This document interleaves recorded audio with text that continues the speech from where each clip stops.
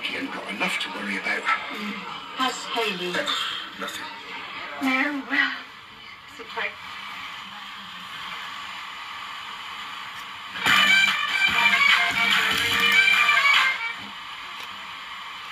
Now let